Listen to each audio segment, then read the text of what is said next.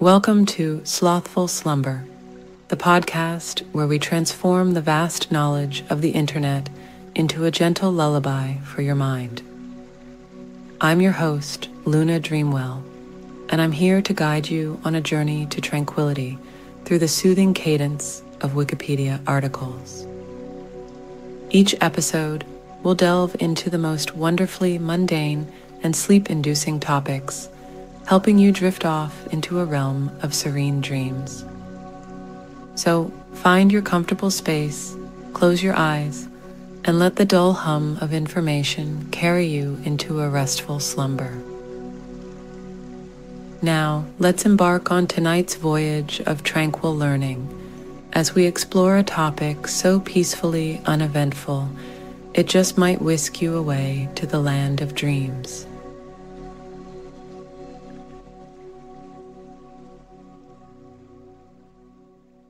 This Wikipedia article is titled Aviation.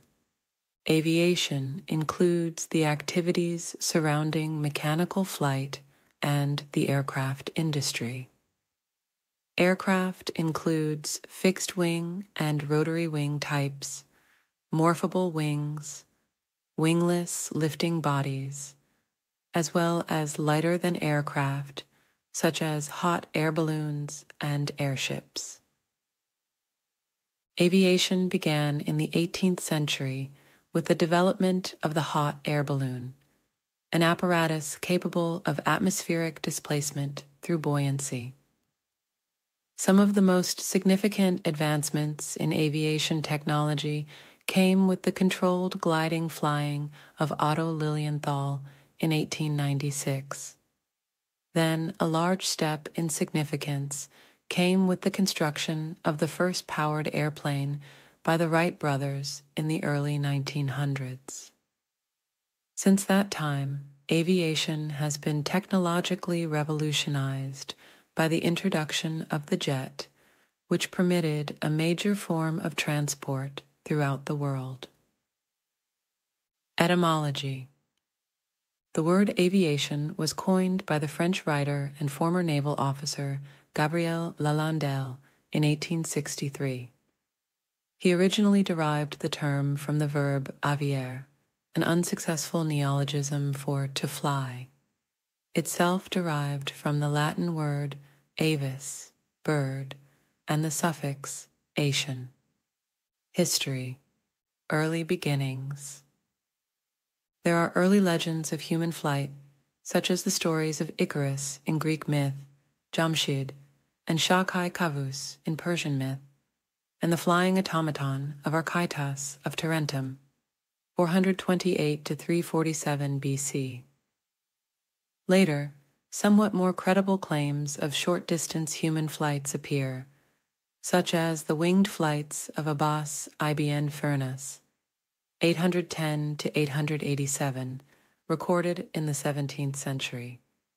Eilmer of Malmesbury, 11th century, recorded in the 12th century, and the hot air passarola of Bartolomeu Lourenço de Gusmão, 1685 to 1724. Lighter than air. The modern age of aviation began with the first untethered human lighter than air flight on November 21, 1783, of a hot air balloon designed by the Montgolfier brothers. The usefulness of balloons was limited because they could only travel downwind. It was immediately recognized that a steerable or dirigible balloon was required. Jean Pierre Blanchard flew the first human powered dirigible in 1784 and crossed the English Channel in one in 1785 rigid airships became the first aircraft to transport passengers and cargo over great distances. The best known aircraft of this type were manufactured by the German Zeppelin Company. The most successful Zeppelin was the Graf Zeppelin. It flew over 1 million miles, including an around the world flight in August 1929. However, the dominance of the Zeppelins over the airplanes of that period, which had a range of only a few hundred miles, was diminishing as airplane design advanced. The golden age of the airships ended on May 6, 1937. That year, the Hindenburg caught fire, killing 36 people. The cause of the Hindenburg accident was initially blamed on the use of hydrogen instead of helium as the lift gas.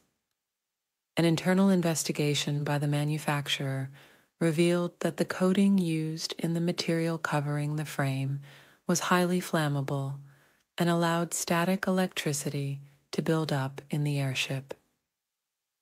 Changes to the coating formulation reduced the risk of further Hindenburg type accidents. Although there have been periodic initiatives to revive their use, airships have seen only niche application since that time. There had been previous airship accidents that were more fatal, for instance, a British R 38 on the 23rd of August 1921. But the Hindenburg was the first to be captured on newsreel. Heavier than air in 1799, Sir George Cayley set forth the concept of the modern airplane as a fixed wing flying machine with separate systems for lift, propulsion, and control. Otto Lilienthal was the first person to make well documented, repeated, successful flights with gliders, therefore making the idea of heavier than air a reality. Newspapers and magazines publish photographs of Lilienthal gliding, favorably influencing public and scientific opinion about the possibility of flying machines becoming practical. Lilienthal's work led to him developing the concept of the modern wing. His flight attempts in Berlin in 1891 are seen as the beginning of human flight and the Lilienthal Normal Segelapparat is considered to be the first airplane in series production, making the Maschinenfabrik Otto Lilienthal in Berlin the first airplane production company in the world. Lilienthal is often referred to as either the father of aviation or father of flight. Early dirigible developments included machine powered propulsion. Henri Giffard, 1852, Rigid Frames, David Schwarz, 1896, and Improved Speed and Maneuverability, Alberto Santos Dumont, 1901. There are many competing claims for the earliest powered, heavier than air flight. The first recorded powered flight was carried out by Clement Ader on October 9, 1890, in his bat winged, fully self propelled fixed wing aircraft, the Ader Éole. It was reportedly the first manned, powered, heavier than air flight of a significant distance 50 meters, 160 feet, but insignificant altitude from level ground. Seven years later, on October 14, 1897, Ader's Avion III was tested without success in front of two officials from the French War Ministry. The report on the trials was not publicized until 1910, as they had been a military secret. In November 1906, Ader claimed to have made a successful flight on October 14, 1897, achieving an uninterrupted flight of around 300 meters, 980 feet. Although widely believed at the time these claims were later discredited. The Wright brothers made the first successful, powered, controlled, and sustained airplane flight on December 17, 1903, a feat made possible by their invention of three axis control. Only a decade later, at the start of World War I, heavier than air powered aircraft had become practical for reconnaissance artillery spotting, and even attacks against ground positions. aircraft began to transport people and cargo as designs grew larger and more reliable. The Wright brothers took aloft the first passenger, Charles Furnas, one of their mechanics, on May 14, 1908. During the 1920s and 1930s, great progress was made in the field of aviation, including the first transatlantic flight of Alcock and Brown in 1919 Charles Lindbergh's solo transatlantic flight in 1927, and Charles Kingsford Smith's transpacific flight the following year. One of the most successful designs of this period was the Douglas DC 3, which became the first airliner to be profitable, carrying passengers exclusively, starting the modern era of passenger airline service. By the beginning of World War II, Many towns and cities had built airports, and there were numerous qualified pilots available. The war brought many innovations to aviation, including the first jet aircraft and the first liquid fueled rockets. After World War II, especially in North America, there was a boom in general aviation, both private and commercial as thousands of pilots were released from military service and many inexpensive war surplus transport and training aircraft became available. Manufacturers such as Cessna, Piper, and Beechcraft expanded production to provide light aircraft for the new middle class market. By the 1950s, the development of civil jets grew, beginning with the de Havilland Comet though the first widely used passenger jet was the Boeing 707, because it was much more economical than other aircraft at that time. At the same time, turboprop propulsion started to appear for smaller commuter planes, making it possible to serve small volume routes in a much wider range of weather conditions. Since the 1960s, composite material airframes and quieter, more efficient engines have become available, and Concorde provided supersonic passenger service for more than two decades. But the most important lasting innovations have taken place in instrumentation and control. The arrival of solid state electronics, the global positioning system, satellite communications, and increasingly small and powerful computers and LED displays have dramatically changed the cockpits of airliners and, increasingly, of smaller aircraft as well. Pilots can navigate much more accurately and view terrain, obstructions, and other nearby aircraft on a map or through synthetic vision, even at night or in low visibility. On June 21, 2004, Spaceship One became the first privately funded aircraft to make a spaceflight, opening the possibility of an aviation market capable of leaving the Earth's atmosphere.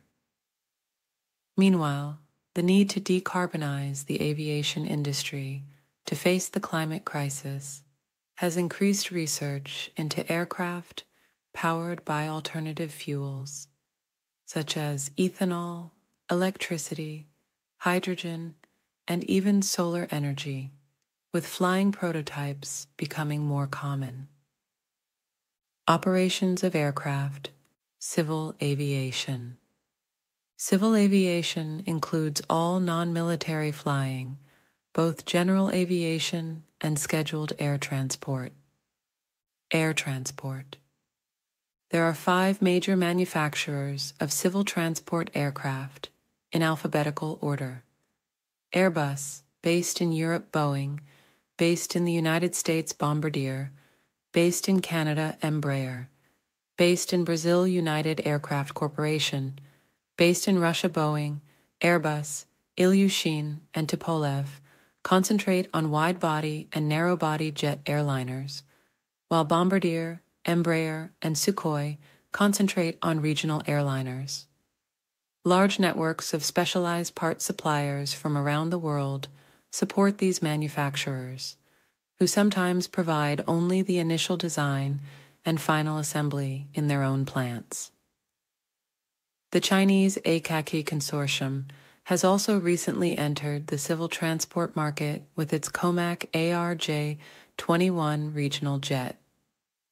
Until the 1970s, most major airlines were flag carriers, sponsored by their governments and heavily protected from competition. Since then, open skies agreements have resulted in increased competition and choice for consumers, coupled with falling prices for airlines. The combination of high fuel prices, low fares, high salaries, and crises such as the September 11th attacks and the SARS pandemic have driven many older airlines to government bailouts, bankruptcy, or mergers.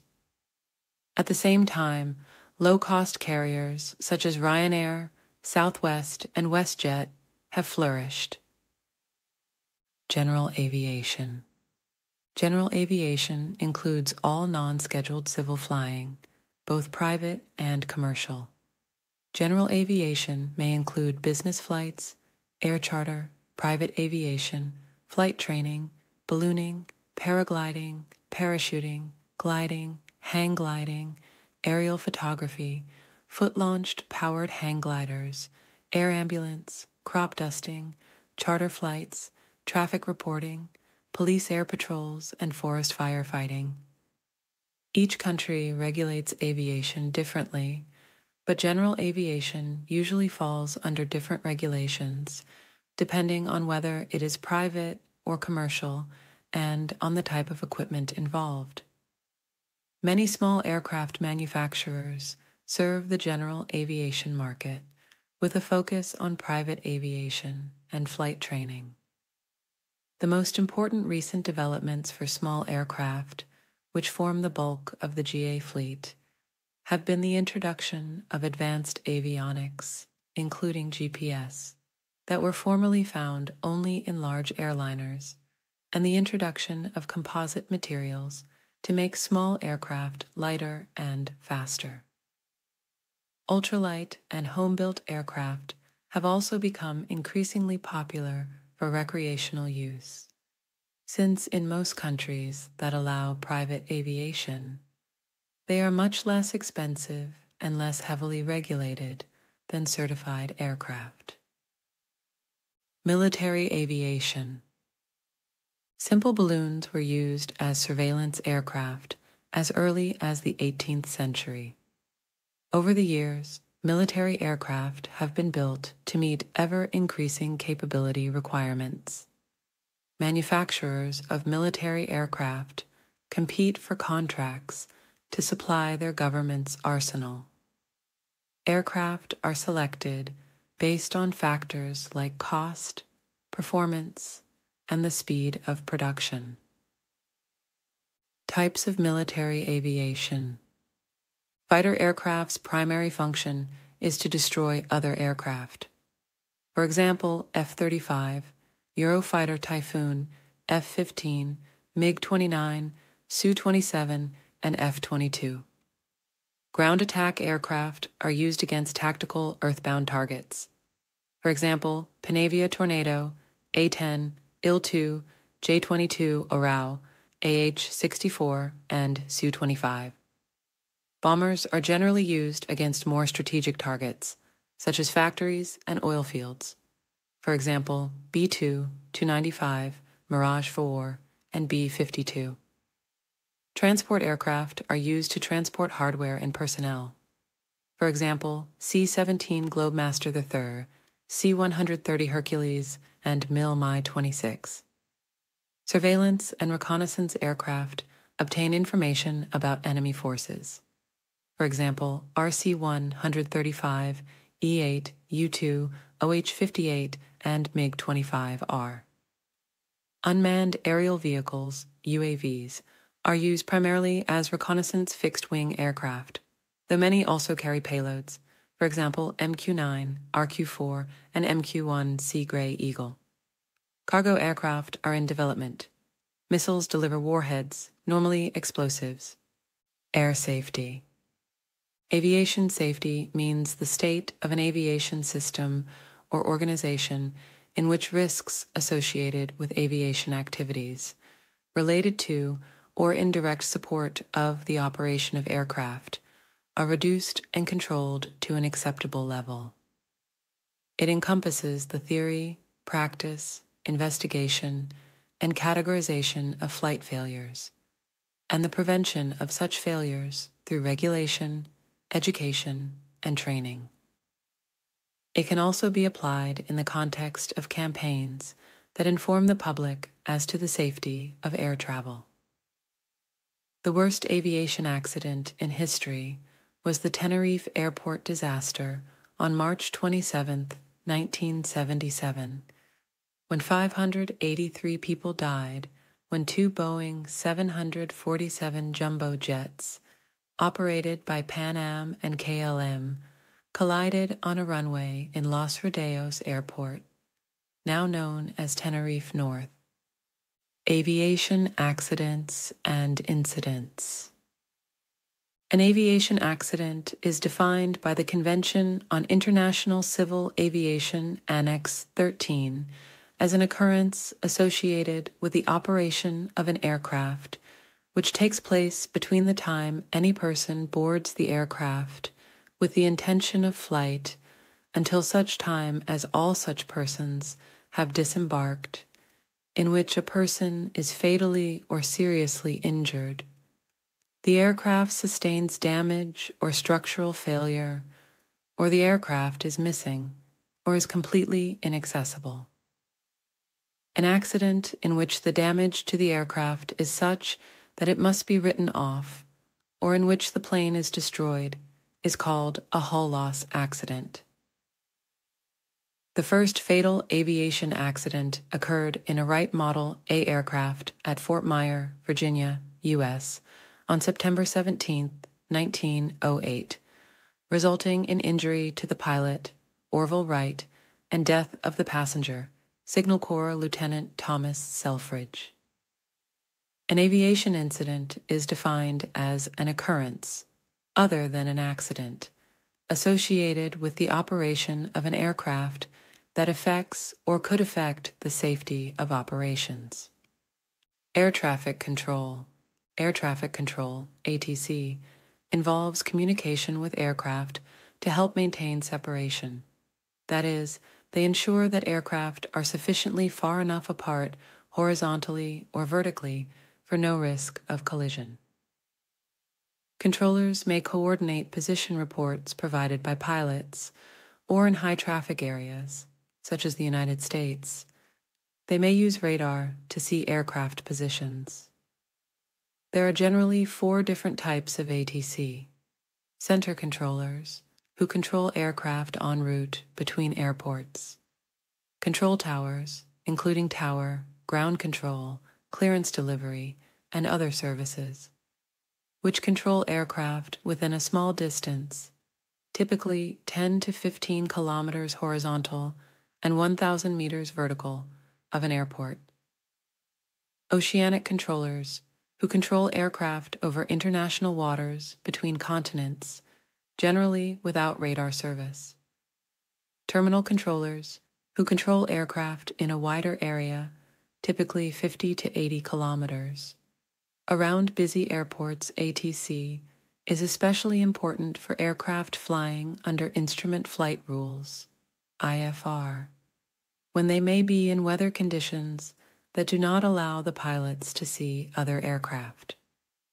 However, in very high traffic areas, especially near major airports, aircraft flying under Visual Flight Rules, VFR, are also required to follow instructions from ATC.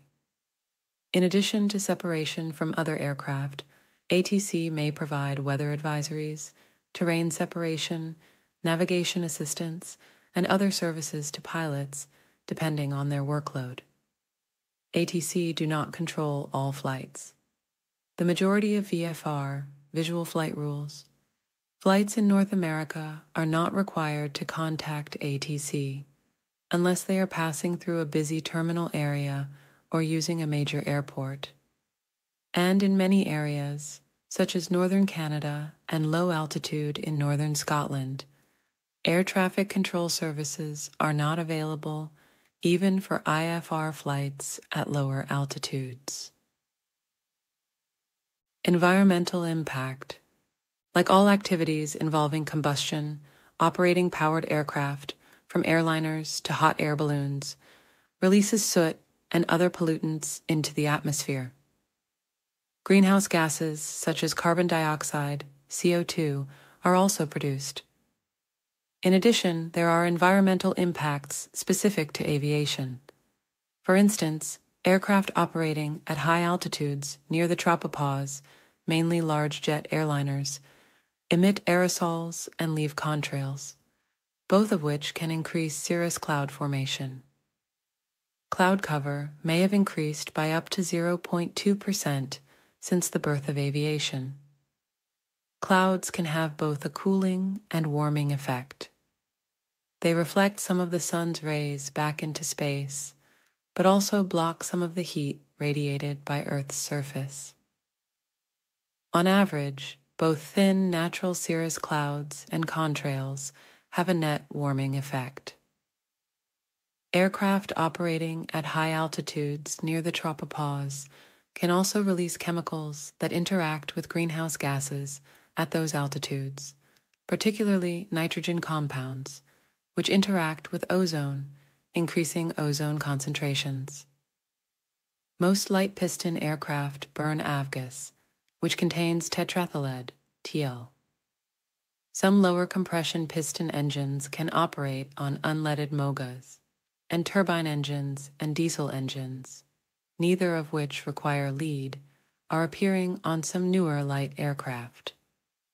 Another environmental impact of aviation is noise pollution, mainly caused by aircraft taking off and landing. Sonic booms were a problem with supersonic aircraft such as the Concorde.